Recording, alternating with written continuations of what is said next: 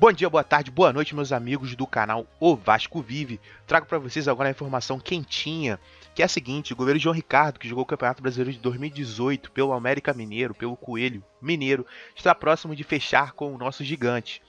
É, pelo que eu estou observando aqui nas minhas fontes, o que está faltando para selar essa contratação é o empresário dele, que está pedindo luvas, está pedindo um dinheiro para liberar o jogador para assinar com o nosso clube. É, pelo que andei pesquisando, o João Ricardo é um goleiro que tem 30 anos. Eu acho que para a posição é um goleiro que ainda tem muito a dar. E pelo que eu já vi, pelo que eu acompanhei, o próprio jogo Vasco e América Mineiro nesse ano, o goleiro João Ricardo fez ótimas defesas. Teve uma do Marrone no final do segundo tempo que poderia o Vasco empatar o jogo contra o América Mineiro. O João Ricardo operou um milagre.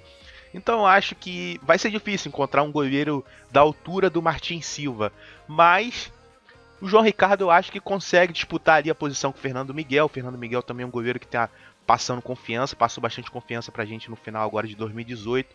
Então eu acho que trazer um goleiro desse para disputar posição eu acho que é muito positivo, entendeu? Então eu espero muito que o Vasco feche, entendeu? Porque eu acho que na nossa situação vai ser difícil encontrar um goleiro melhor. É, até existe goleiro melhor, como o pessoal falou do Rafael ex-Santos. Se eu não me engano, ele está no Napoli. Bom, posso estar enganado. É realmente um bom goleiro, só que a gente conhece, né? A gente sabe a situação financeira do Vasco atual. Então acho bem difícil do Vasco buscar um goleiro desse naipe.